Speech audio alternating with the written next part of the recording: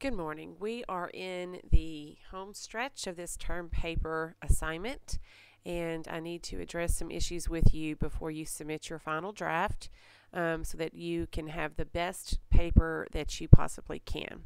So, the first thing that you need to know if you'll look at the instructions on the term paper, your term paper must show revision from the rough draft. If you turn in the same paper that you already have turned in as your rough draft, you will receive a zero um, you're you have to show significant attempt at revision on your term paper to get credit for it okay? Because i have spent time reviewing all of the, the drafts. Um, writing is a process. You have to show that you can go from from rough draft to final draft that you can revise on your own.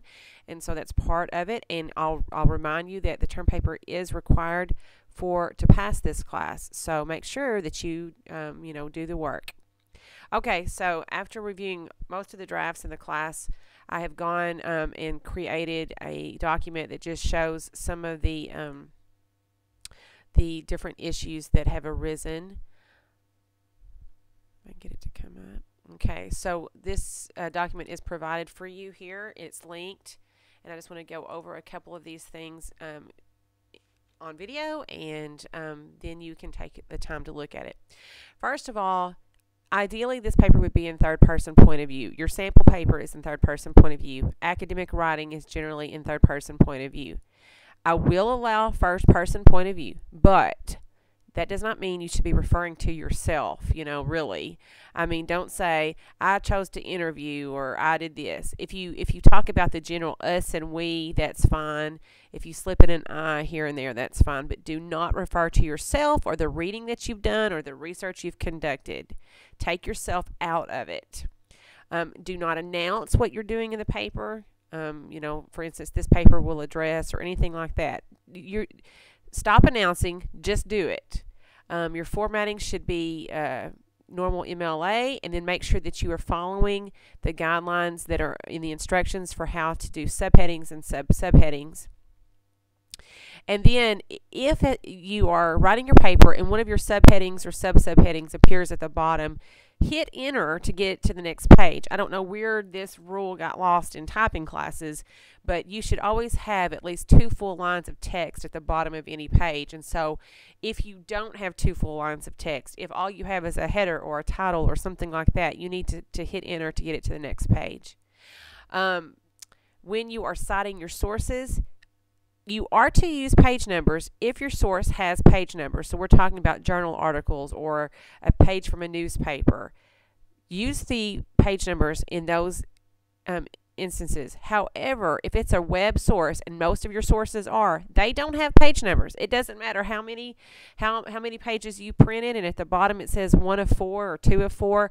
Those are not actual page numbers because depending on your printer settings, um, the page numbers would be different. So, if it has actual page numbers that appear in the works cited entry, you need to use those when you are citing specific information. Um, otherwise, don't use them at all. And remember, there are two different ways to cite a source. You can cite the author or the uh, article name if there's no author within the sentence. Okay, so John Smith states resilience can be developed over time. If that source has a page number, then you put it here. Period goes after the parentheses. Um, you could also do it a different way. According to the article, comma, resilience can be developed, developed over time.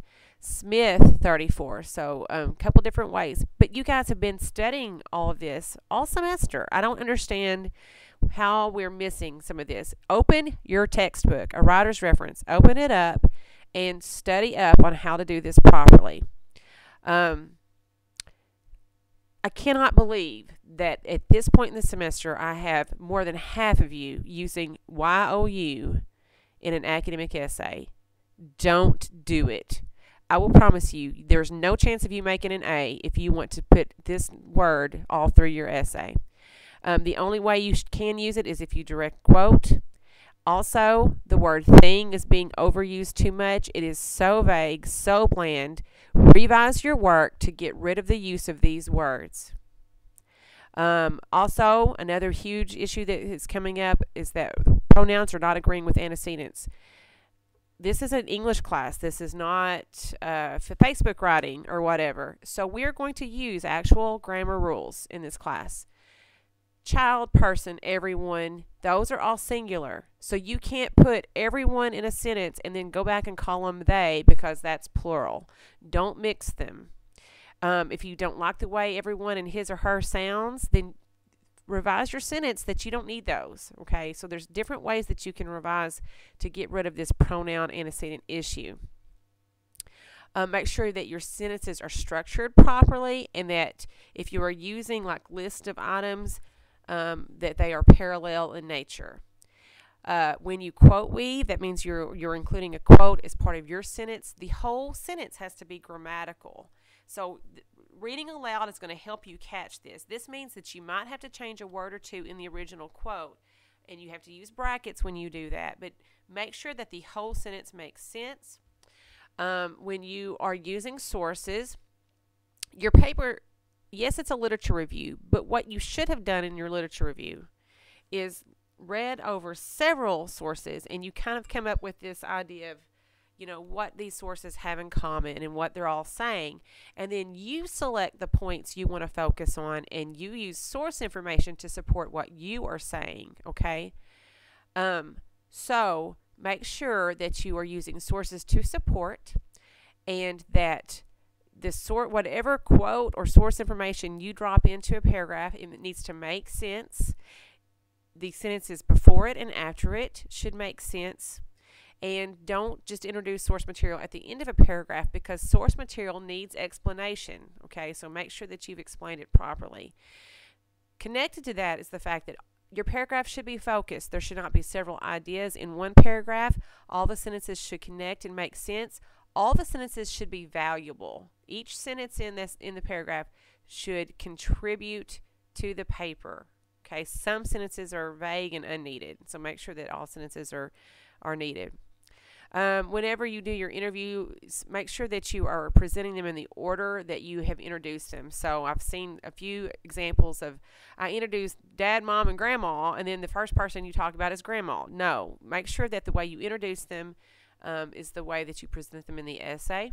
Also, when you're talking about family members, remember the little rule that if you put my in front of it, the name isn't capitalized, but if you just call the name by itself, it is. So my grandpa versus grandpa. So the whole paper, even though we did this in parts, it is still supposed to all be connected and all make sense. You should start with one basic idea in your very first paragraph, and that should be the, the idea that you end with through literature review and through interviews. So make sure that you are tying all of this together, okay? That the ideas that you pulled from your interviews are connected to the ones that you also pulled from the literature.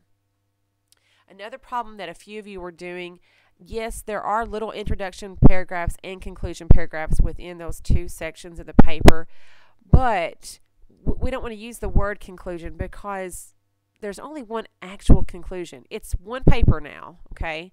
Yes, you're going to have a little paragraph that that gets the literature review part going and one that wraps it up. And then you're going to have a little uh, paragraph that gets the interviews going and one that wraps it up. But those are just parts of those sections. You only have one official introduction paragraph and one official conclusion paragraph. So watch the language you are using. It needs to make sense. The whole paper should be only be about five pages. Some of yours are longer. It is okay if they're longer as long as it, it's all new information. So if you're repeating yourselves a lot, don't. That's why it's so important to read your essay aloud to catch that repetition. Don't repeat yourself. Um, you need, at this point in the semester, you should have a handle on punctuation and grammatical errors. I, I suspect that um, most of you, many of you are not reading the feedback that I've given you, and you're not studying to fix these errors. Um, it is time to do that. It's the end of the semester. Um, your essays should be should be decent when it comes to punctuation and, and grammar, especially because we have been going over these all semester. Um, if you're still making the same mistakes you made in essay one, that is a huge problem and a red flag that says that you may not be ready for comp two. So make sure that you are attending to any punctuation grammar errors when I gave you back your drafts, you have a lot of highlighting going on. That means there's a problem in that area. Figure out what it is. And I've already said this several times, but I can't reiterate it enough.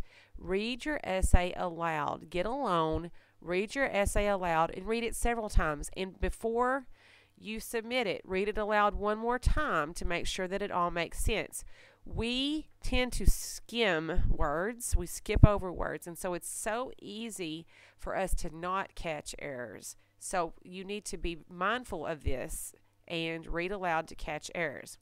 I have included in this document your essay error codes one more time, and this time I highlighted the sections in a writer's reference to help you remember where these sections are.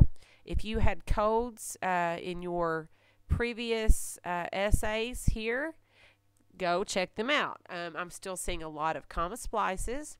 I'm seeing some run-on sentences. I'm seeing a lot of comma errors still. It goes without saying that I'm seeing a lot of the YOU. Um, formatting issues, uh, documenting properly. So, you know, really for sure make sure that you've studied the MLA section, make sure you've studied the comma section. Uh, the G section is also good. Make sure you've studied over these and that you take responsibility for your paper.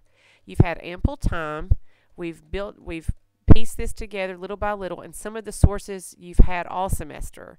So um, there's really no excuse here. I've given you a couple extra days. Make sure that you submit the best essay possible. I will follow up with one more video.